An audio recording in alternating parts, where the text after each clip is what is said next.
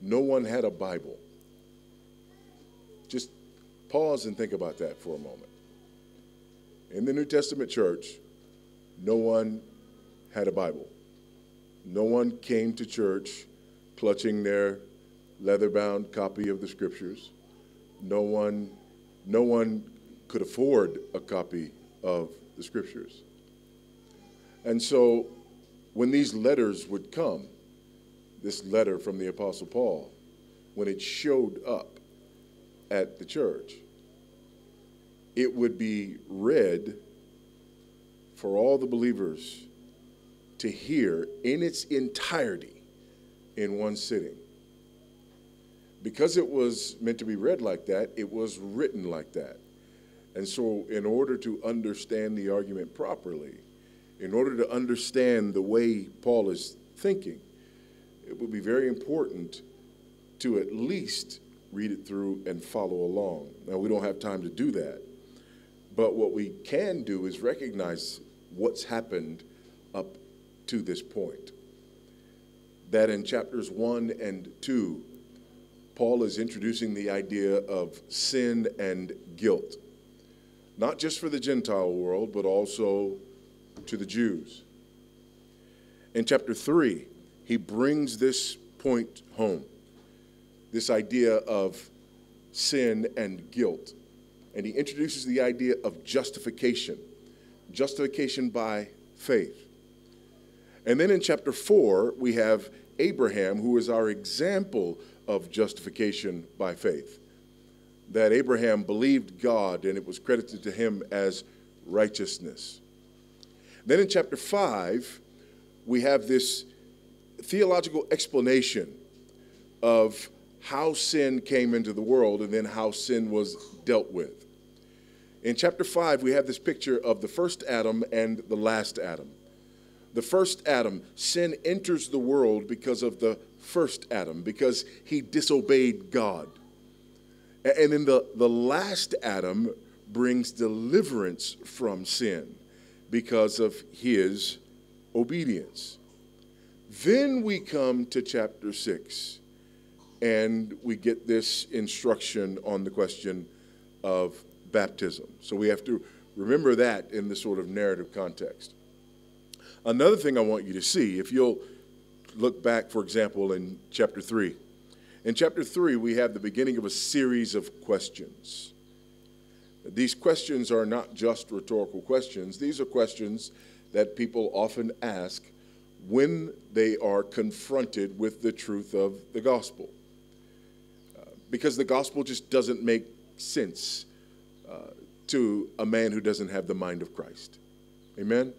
It's foolishness, it's folly, Paul says in 1 Corinthians 1, that it's folly. It, it, it, however, makes sense to those who are being saved, those who grasp it.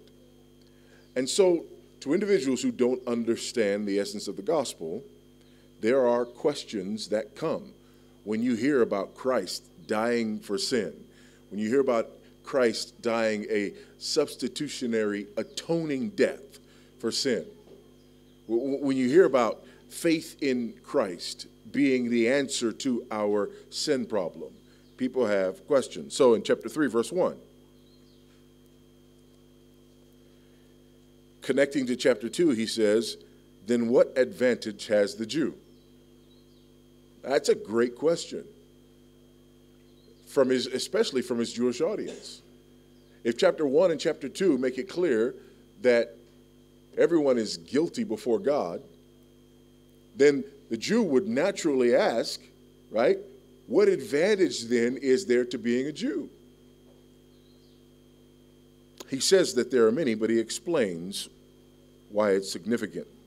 And it's not because of anything according to the flesh. Then chapter in verse 5. What shall we say? That God is unrighteous to inflict wrath on us? In other words, people hear about being guilty. They hear about being guilty for sin, but having a sin nature that causes that sin. And if you've had a conversation with anyone who's outside of the faith about this theological truth, they've probably asked you this question. Well, is God, is God wrong then? Why would God hold me guilty if he made me this way? A classic example of this question being asked today is with homosexuality and transgenderism.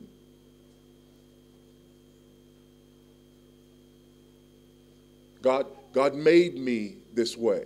So, how can you Christians condemn me for being this way if God, in fact, made me this way? That is a modern version of the same question. And the essence of the question is to impugn God's character, to say that your God, the God that you read about in your Bible, is an evil, wicked God. Because essentially, He made me this way, and then He calls me sinful. Again, Paul answers that. And then in verse 9, what then? Are we Jews any better off? He answers that in the coming verses. Chapter 4, verse 1, he does it again. What then shall we say was gained by Abraham, our father, according to the flesh? Again, if this, if this is true, right, that is justification by faith, as he says in chapter 3, then, then, then what was gained by Abraham? This is a very important theological question as well, because there are many, even many Christians, even many good solid Christians who actually believe that in the Old Testament, people were saved by keeping the law, but in the New Testament, after Christ comes, they're saved by faith. Nothing could be further from the truth, and Paul demonstrates that here in Romans chapter 4. Abraham was not saved by anything he did. No one in the Old Testament was saved by anything that they did. There is only one way to be saved. There's never been another way to be saved. Salvation is by faith alone. Amen, somebody. It is by faith alone. Abraham believed God, and it was credited to him as righteousness. Folks, if Abraham was saved by anything other than faith, he ain't saved. Because he was he was not the most obedient man. Amen? Last time I checked, if you lie and tell somebody that your wife is your sister when she's actually your wife, that's not righteousness, that's a lie. Amen. Last time I checked, if you go into a woman who's not your wife and have a child with that woman who's not your wife, that's not righteousness, that's adultery. Amen, somebody. So Abraham was a lying adulterer. He was not saved by keeping the law. He was not saved by being good enough. He was not saved by doing more good than he did bad. Because none of us does more good than we do bad. Not when you recognize the fact that you are judged for every thought and deed. So, no, Abraham and no one else has ever been saved by their own personal righteousness. And Paul makes this clear in Romans chapter 3, where he says, There is none righteous, no, not one. All have sinned and fall short of the glory of God. That's when we get to this question What then shall we say was gained by Abraham, our forefather, according to the flesh? That's the question. And the answer to that is he was saved by faith and by faith alone. Now, with that in mind, let's get to our text here in Romans chapter 6, which begins with another one of these questions. What shall we say then? Are we to continue in sin that grace may abound? Again, you may not have been asked that question exactly like that, but you've been asked a version of that question. A version of that question that may go something like this well, you know, if you believe in Jesus, does that mean that you can just live any way you want to live? Anybody ever had that question or a question like that asked of them? That's the question that we're asked. And Paul deals with this question here in Romans 6. And he deals with it by addressing the issue of baptism. Because baptism happens at the intersection of sin and grace. We, we know that we are sinners.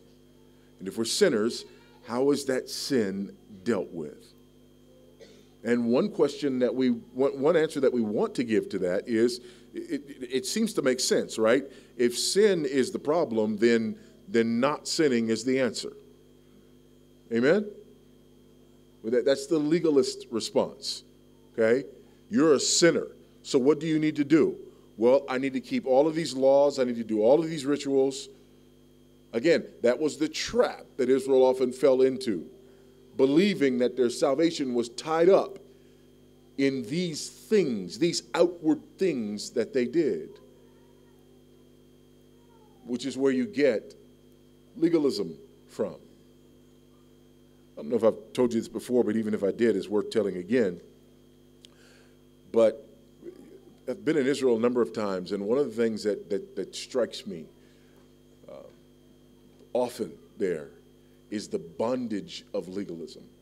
And nothing, nothing brought that home to me more than one day when I got on the wrong elevator on the Sabbath.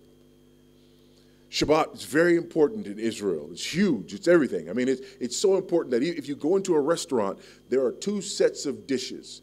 There's one set of dishes for all the other days of the week and one set of dishes for the Sabbath. You don't even use the same dishes, okay? And and and on the Sabbath, there's what's there's the Shabbat elevator. Shabbat is Sabbath in Hebrew. There's the Shabbat elevator. And one day I got on the Shabbat elevator in my hotel. Didn't realize it. And what happens in the Shabbat elevator is the elevator opens on every floor. So here I am waiting to get up to my floor. But at every floor, had to stop, doors open, doors close. Next floor, stop, doors open, doors close. Next floor, stop, doors open, doors close. Until you get off the elevator and learn your lesson don't get on the Shabbat elevator anymore. The reason you get on it is because it's the one sitting down there with his doors all the way already open. But why? Why does the Shabbat elevator open its doors on every floor? So that observant Jews don't have to do the work of pushing the button. That is the heart of legalism. You can ride the elevator, just don't push the button. That's the answer of someone who says that, that, that the way you deal with sin is with not sin. The, the way you deal with, with breaking the law is with keeping the law. That's a person who does not understand the essence of what it means to break the law. And Jesus deals with this in the Sermon on the Mount. You've heard it said, don't murder. And you think you're not a murderer because you've never taken someone's life. But I say to you, if you hate your brother, you've broken that commandment. You've heard it said, don't commit adultery, and you think you're not an adulterer because you've never actually engaged in, in, in, in, in, physically consummated a relationship with a person who's not your spouse. But I say to you, if you've looked at someone and lusted after them, you've violated that commandment. Jesus makes it clear that we break the law in our hearts first, and that breaking the law in our hearts is enough to make us guilty. So the answer to sin can't be not sin. The answer to sin has to be something else. And here we see that the answer to sin is grace. It's the only possible answer. Because when it comes to righteousness, you and I can't get there from here. So let's read this, beginning in verse 1, and then come back and make some observations here about baptism, about what we witnessed earlier. What shall we say then? Are we to continue in sin that grace may abound? By no means. How can we who died to sin still live in it? Do you not know that all of us who were baptized into Christ Jesus were baptized into his death? We were buried, therefore, with him by baptism into death, in order that, just as Christ was raised from the dead by the glory of the Father, we too might walk in newness of life. For if we have been united with him in a death like his, we shall certainly be united with him in a resurrection like his. We know that our old self was crucified with him in order that the body of sin might be brought to nothing, so that we would no longer be enslaved to sin. For one who has died has been set free from sin. Now, if we have died with Christ, we believe that we will also live with him. We know that Christ, being raised from the dead, will never die again. Death no longer has dominion over him. For the death he died, he died to sin once for all. But the life he lives, he lives to God. So you also must consider yourselves dead to sin and alive to God in Christ Jesus. Now, there's a lot to unwrap there. But as we unwrap it, you have to understand a couple of things that this is symbolic language and simultaneously literal language. The reason it's literal language is because it's literal language about an event that is symbolic in nature. So we have these two things happening. Number one, we have baptism, which is symbolic in nature. But it's a symbol that points to something that is real, just like all symbols do. But what is it a symbol of? It's a symbol of a number of things. Number one, it's a symbol of our union with Christ. We see that there in the text. We see that there in verse 5. So the, the beginning here is in the middle.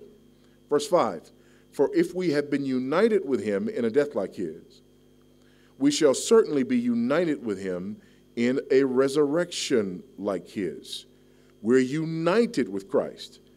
That, that, that, that's why, look there at verse 4 we were baptized, or, or we were buried, therefore, with him by baptism into death, in order that just as Christ was raised from the dead by the glory of the Father, we too might walk in newness of life. We're united with Christ. So, baptism is a symbol of our union with Christ. Now, baptism doesn't create our union with Christ, it is a symbol of our union with Christ. Our union with Christ is actually a, a, a mystical union. And when I say mystical, I don't mean like sort of new age mystical.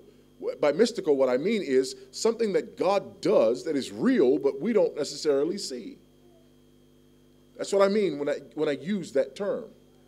Uh, by the way, this is not something that's odd to us.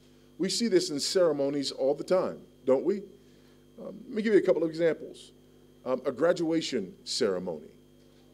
A graduation ceremony. It, it, does anything really happen at a graduation ceremony? I mean, in do you do you become another person? And and, and when you when you graduate, I, you know, I, oftentimes graduates will give the same testimony, right? You you go to your graduation, you go through the ceremony, after the ceremony or during the ceremony, they call your name, you walk up, they hand you your diploma, you shake hands, you go sit down, you put the tassel on the other side. Then there's this proclamation that's made, and you stand there going, I still feel like the same person.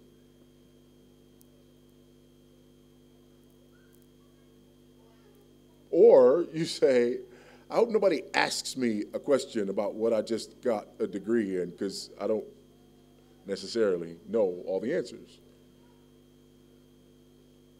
So nothing actually happened to you, or did it? It's a ceremony that has real meaning.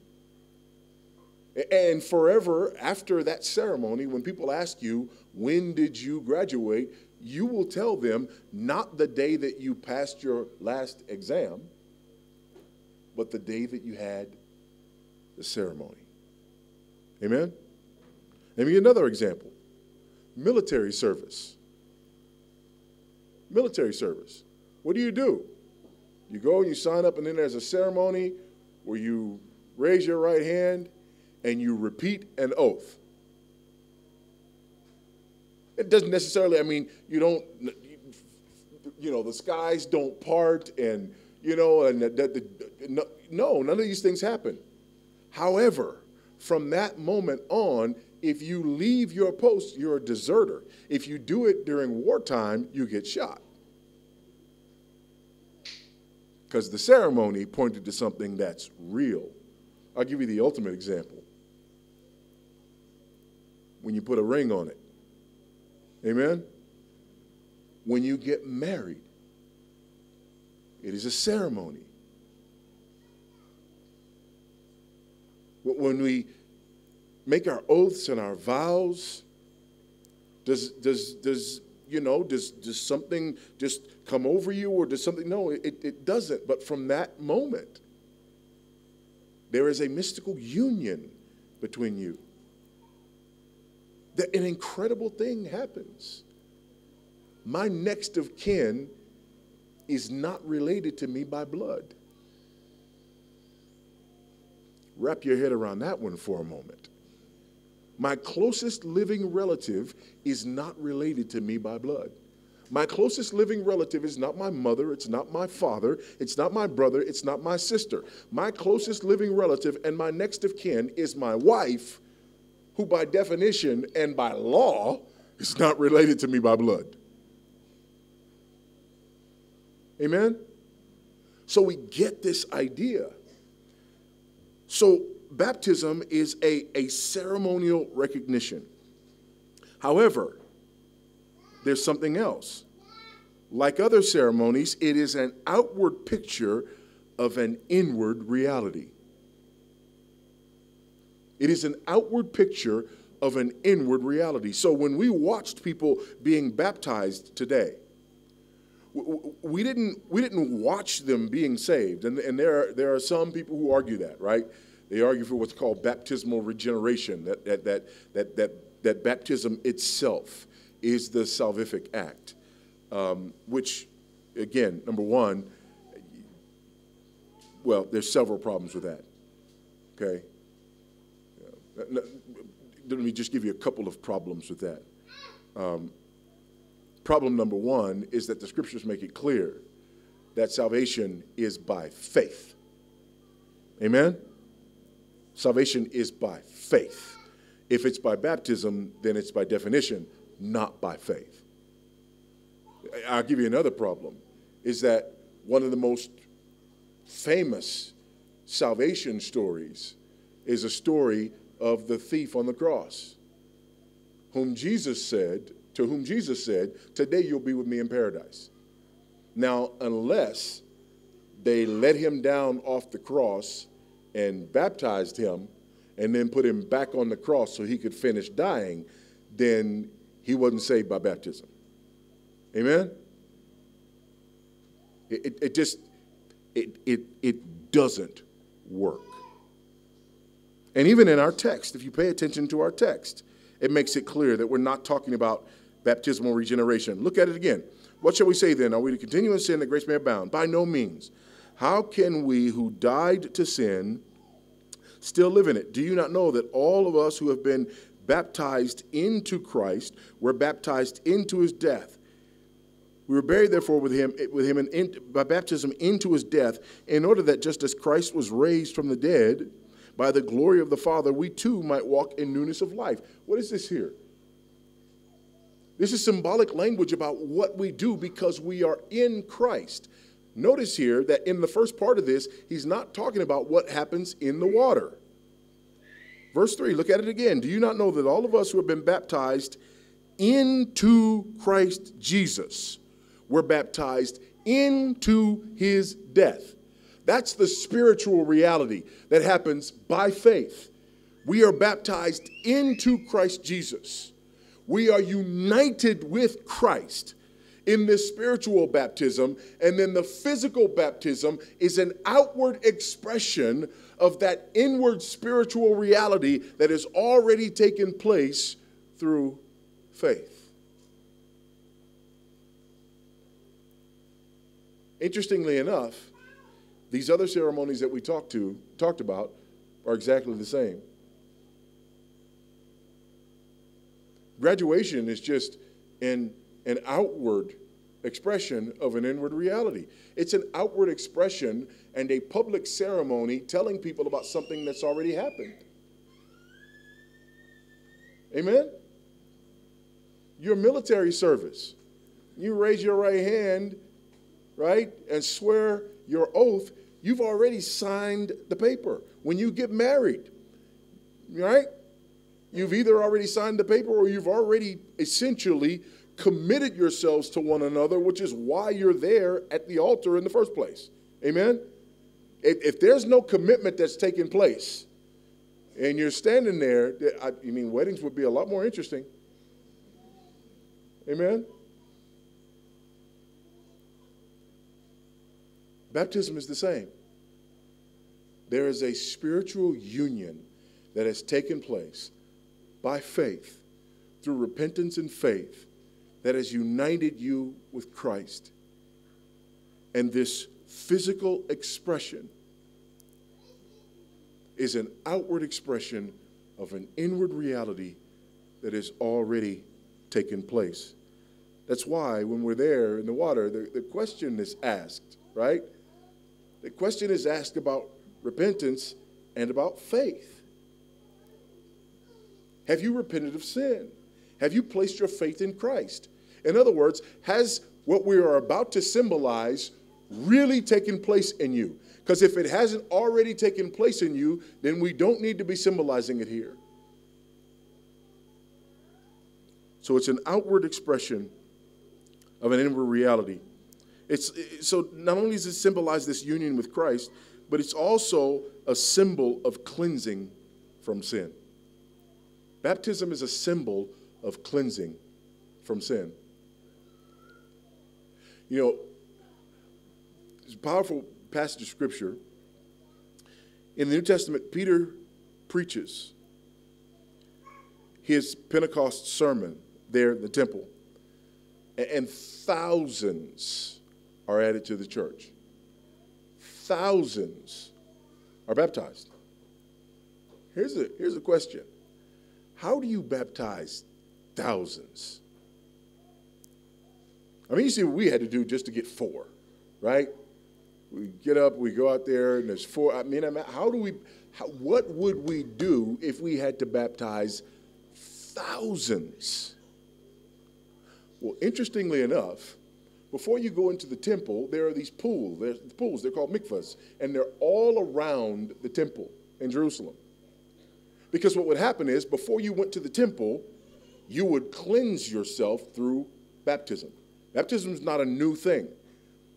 The Jews would cleanse themselves through baptism before ascending the stairs up to Solomon's porch and then going into the temple where sacrifices were made, which, again, were about sin and cleansing from sin. So, baptism is symbolic of cleansing from sin. But there's an amazing thing that happens because of the person and work of Christ. You see, before Christ comes, you come to the temple, and outside of the temple, you go into the mikvah and you're baptized so that you can then go up into the temple and see the sacrifices that are made for sin. And you do that over and over and over again in Jerusalem at least three times a year over and over and over again.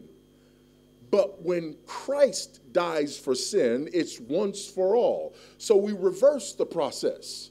So now Christ dies for sin. Notice that the veil of the temple is torn in two when he dies, because that's where the Holy of Holies is, where the high priest, one day a year, goes to make a sacrifice for the people. Well, when Christ dies for sin, now sin is atoned for, so no longer does anyone ever have to go into the Holy of Holies because Christ, the Lamb of God who takes away the sins of the world, has atoned for sin. Not only that, but now we get baptized after this work that he does, and we don't do it every time we go into the temple. We only do that one time as well. And it's symbolic of the cleansing that has already taken place because of the sacrifice. Look at our text again. Verse 6 We know that our old self was crucified with him in order that the body of sin might be brought to nothing, so that we would no longer be enslaved to sin.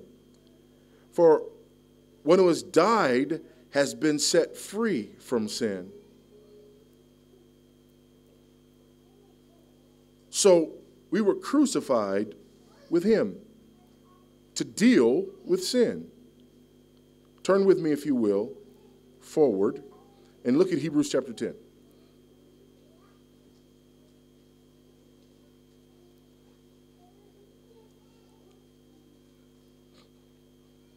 Look at Hebrews chapter 10.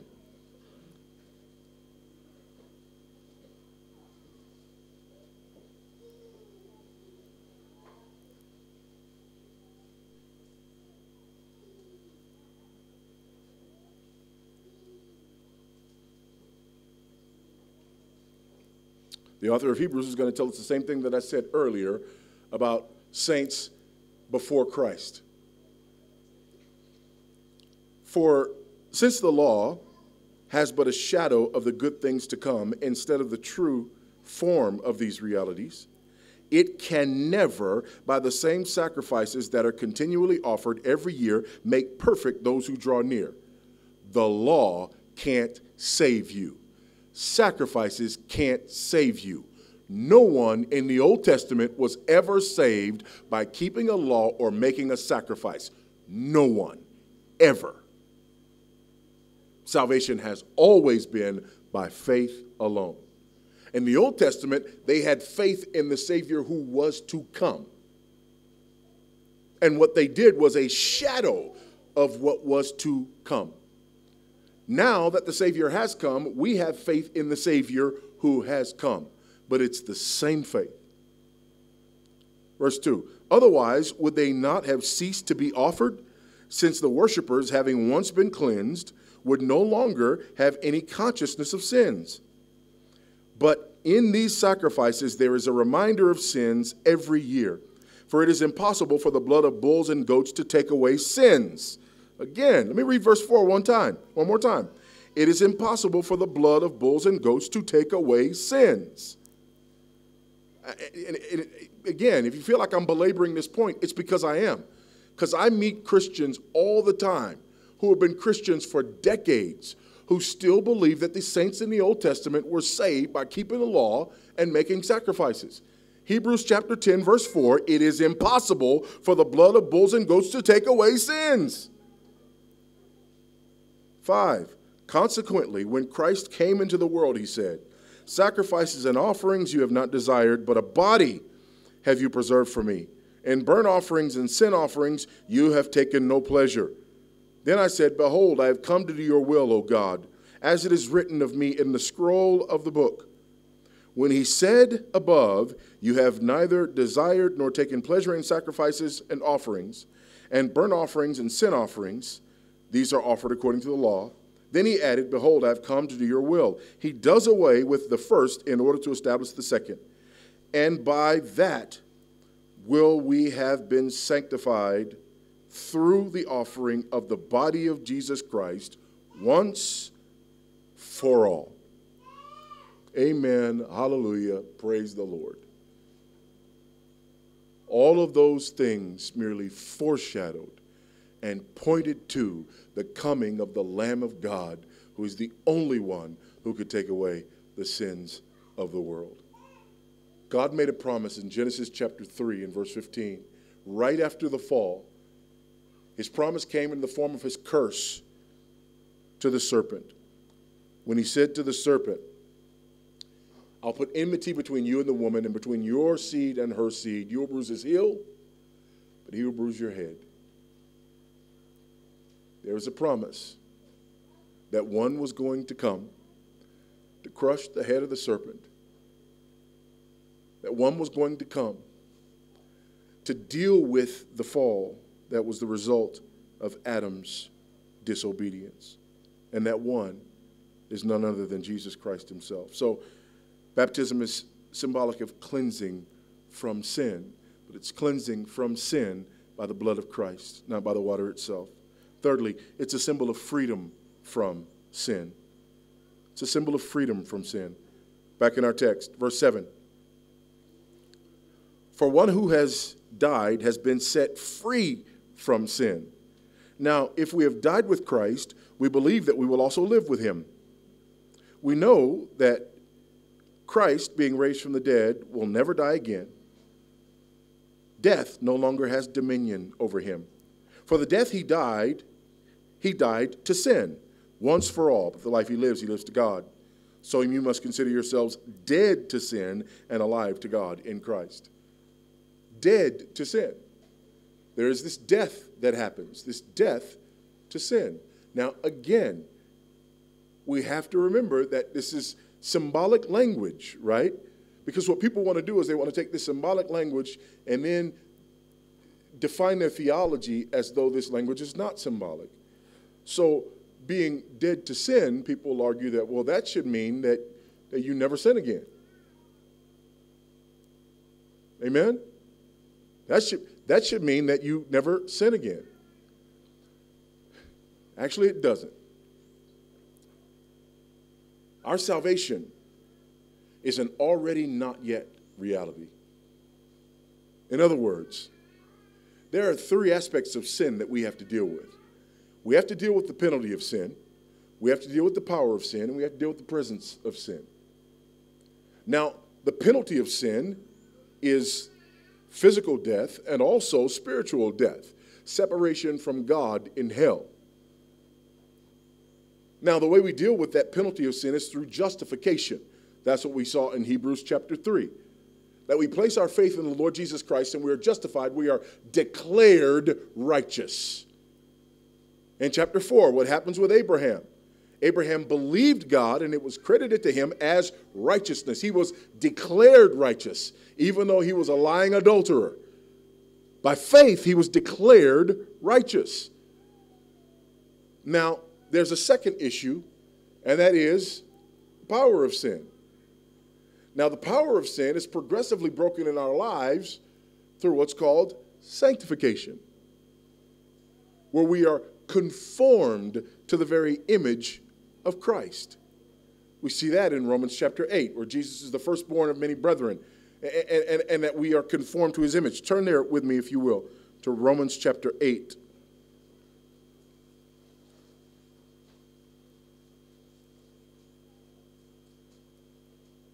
And look at verse 29. Romans 8 29.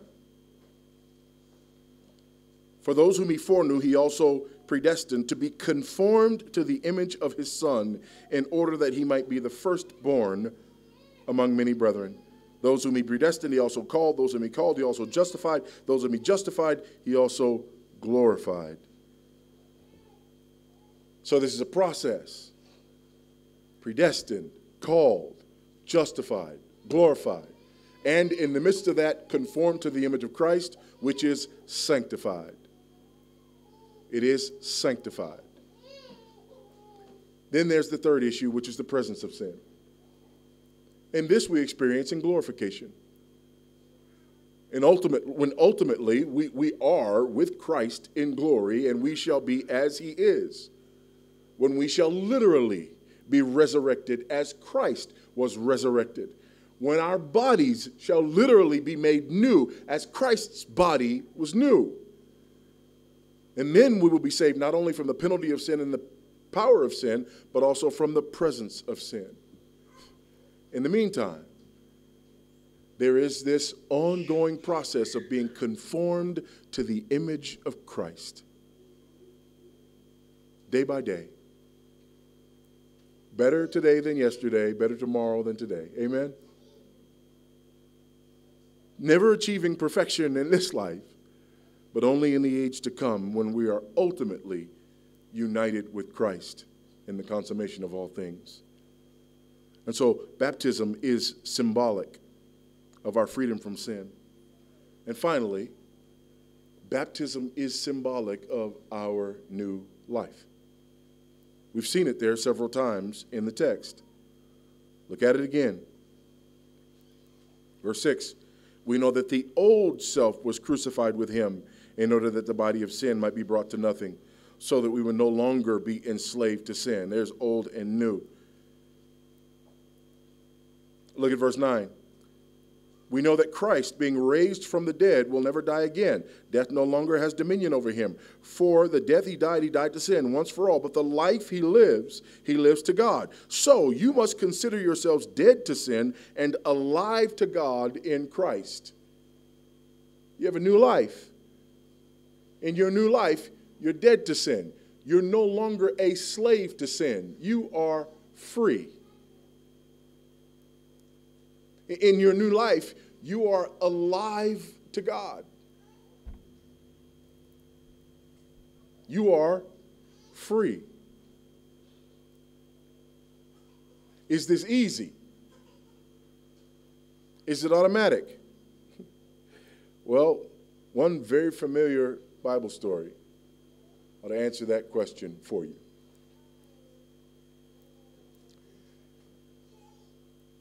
Moses goes to Pharaoh and says, Let my people go. Pharaoh won't do it.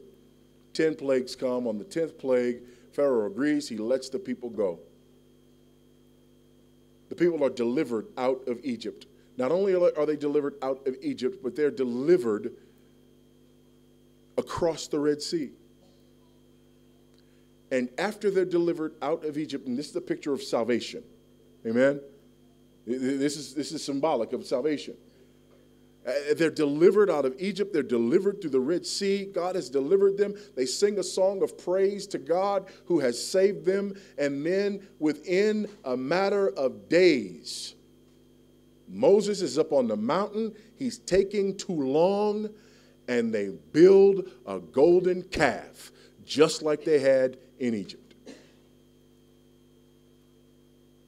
Why?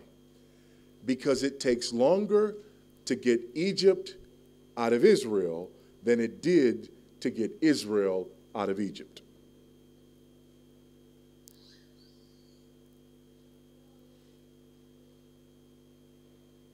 You lived in Egypt for much of your life. You, you, you, were, you were born in sin and shaped in iniquity. Sin was all you knew and all you loved. Your flesh desired sin so much that you didn't even recognize it as desires, it was just life.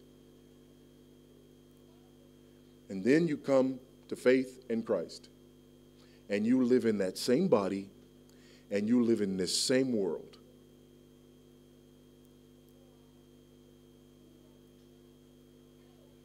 So you are simultaneously a new creature in Christ and a creature who is at war with your old self. By the way, that's Romans chapter 7.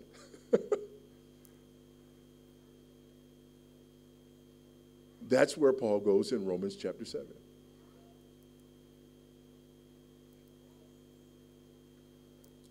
New life not, not a perfect life. Again, I'll go to the other examples. Military service. You sign up, you raise your hand, you take your oath. And then what immediately happens? Basic training. Why? Because you took your oath and you have now been initiated. You are now a part of that body. That ceremony is real, but you still have to learn how to live in your new reality. Amen? Now let's go to the wedding. In, in, in marriage counseling, I, I tell people your first, like, big dust up is probably going to happen somewhere within 48 hours, one side or the other of the wedding. You can't say amen, you ought to say ouch. Why? Because this union is not real? No, because it is. And it's spiritual warfare. Amen? So you don't get all that you need to get as a husband or a wife on the day that you say, I do. On the day that you say, I do, people often cry. Why do they cry? One, because they're happy, and two, because they know that you have no idea what you just did.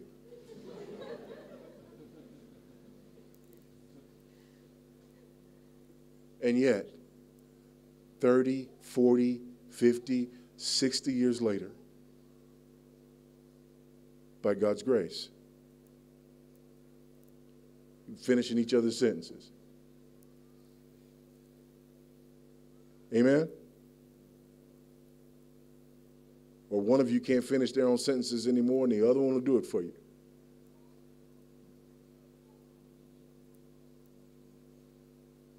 There's an amazing reality that has no scientific explanation, but it has a theological one.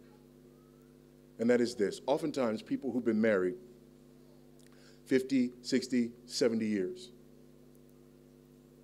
will die within very close proximity to one another. One will go, and shortly after that, so will the other.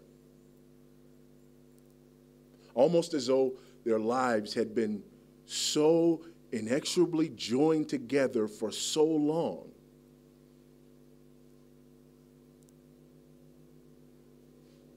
that the other can't stay once that union is broken.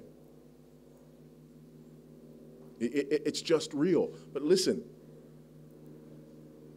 it's the same union that happened on day one but it grows and matures and deepens over time.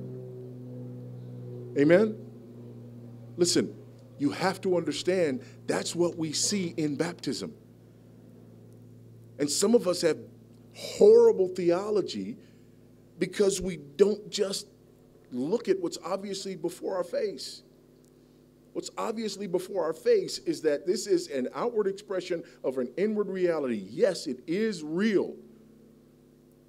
It's real immediately, it's real progressively, and it's real ultimately. So, no, baptism does not mean that you'll never sin again. Hear me, those who were baptized today. Baptism does not mean that you won't have those thoughts ever again. Baptism doesn't mean that you won't necessarily fall into things again. But just like a soldier or a graduate or a spouse can have a bad day and still be a soldier and a graduate and a spouse. Christian who has been transformed and united with Christ by faith, saved from their sin because of his person and work, justified sanctified, and ultimately glorified, glorified. Can, can, you can have those days, you can even have those weeks, and not negate the reality of who you are in Christ. Your sanctification is progressive. So when people come to me and they say, well, you know, well, you know, I've sinned and I worry if I'm, you know, really saved because I, I sin, almost inevitably, inevitably, the first thing I say is, I'm not worried about you. And I'll say something like, wait, no, you don't understand. I haven't even told you what I did. No, you haven't told me what you did, but what you told me is that you're concerned about it. What you told me is that it breaks your heart. What you told me is you don't want to live like that. The person I'm worried about is not the one who sins and then comes and is broken over it and worried about it and hates it. The one I'm worried about is the one who sins and then justifies it and never loses any sleep.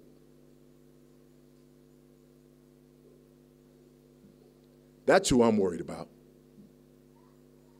Because that's a person who's living like they have not been united with Christ, like they have not died to sin. Baptism is beautiful. It symbolizes our union with Christ. It symbolizes being, being cleansed from sin. It's, a, it, it's this outward expression of an inward reality. It symbolizes our freedom from sin. And it symbolizes the new life that is ours in Christ. And because of that, it is praiseworthy among those who belong to Christ. We should be grateful that the Lord is still saving sinners. Amen. We should be reminded every time you witness baptism, you should be reminded of your own and what it symbolizes and what it means and what its significance is. And every time you see baptism, it should encourage you to pray and work all the more so that Christ might indeed have the fullness of the reward for which he died. Let's pray. Father, we praise you and we thank you for the glory and the beauty of baptism for its glory and its beauty only exists because of the glory and the beauty of the death, burial, and resurrection of Jesus Christ. And the glory and beauty of his death, burial, and resurrection is in the fact that he conquers sin and death on behalf of all of those who place faith in him. Grant by your grace that we might rest in this truth and that we might proclaim it we ask this in Christ's name and for his sake. Amen.